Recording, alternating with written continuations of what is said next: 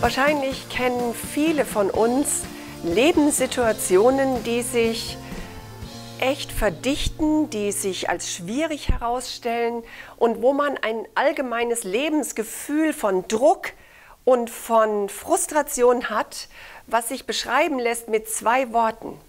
Unter Ächzen und Stöhnen. Unter Ächzen und Stöhnen zu leben ist wirklich schwer. Ich habe das in meinem Leben in manchen Situationen wirklich so erlebt. Ich habe gedacht, die Hitze hört überhaupt nicht mehr auf, der Druck hört nicht mehr auf. Ich konnte mir gar nicht vorstellen, dass es wirklich ein Heraustreten aus dieser Lebenssituation gibt, unter Ächzen und Stöhnen. Aber preis sei Gott, ich kann heute das bezeugen, dass Gott mich herausgeführt hat er hat dieses Ächzen und Stöhnen von meiner Lebenssituation oder von den vielen Lebenssituationen weggenommen. Er hat mich herausgeführt. Und bei all diesen Dingen, die ich in meinem Leben erlebe, dann möchte ich wissen, ist das nur so ein menschliches Lebensgefühl? Ist das nur was, was ich erlebt habe? Oder finde ich das in der Bibel wieder? Das ist für mich ganz, ganz wichtig. Ich muss wissen, gab es das in der Bibel und wie hat Gott in diese Situation eingegriffen? Und so habe ich in der Bibel gefunden diesen Bericht über das Volk Israel, was in Ägypten ist. Und es heißt dort, unter Ächzen und Stöhnen lebten sie dort. Und es war kein Ausweg irgendwie da. Es war keine Öffnung da, wo sie sich selbst hätten herausbewegen können. Aber Gottes Machtdemonstration des Herausführens, des Herausziehens kommt. Nicht der Feind hat das letzte Wort. Auch der Pharao hatte nicht das letzte Wort. Gott sendet Mose und Mose sagt dem Pharao, lass mein Volk ziehen, dass es mir in der Wüste ein Fest feiert. Und dann musst du dich mal mit diesem Bericht beschäftigen und lesen, was der Pharao antwortet. Ich lese dir das vor. Wer ist Jahwe, dass ich auf seine Stimme hören und Israel ziehen lassen sollte?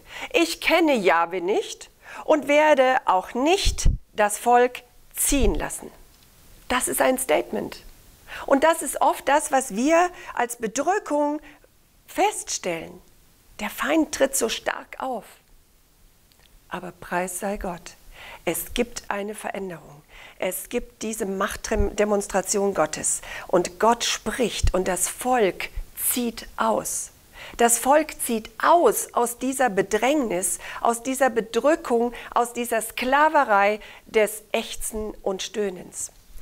Ich habe über dieses Ächzen und Stöhnen, über diese Wortbedeutung nachgedacht und auch gelesen und ich möchte dir kurz das beschreiben. Dann wirst du wahrscheinlich sagen, ja genau, das ist mein Empfinden im Moment auch.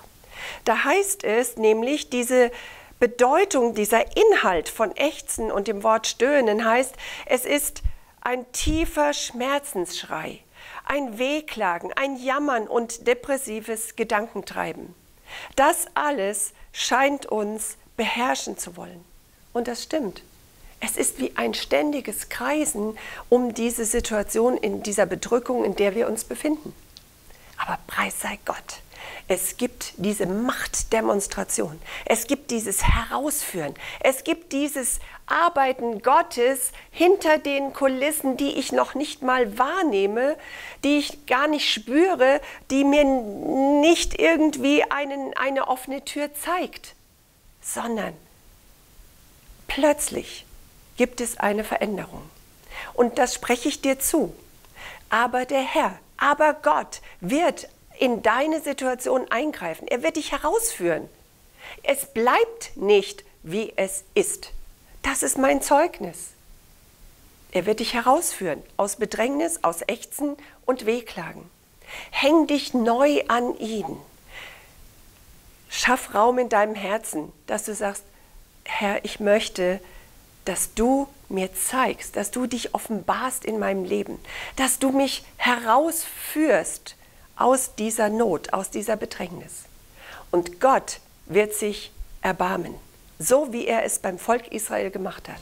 Genauso wird er dich herausführen. Gott ist der gleiche, gestern, heute und in Ewigkeit. Und Gott hat mehr für dich.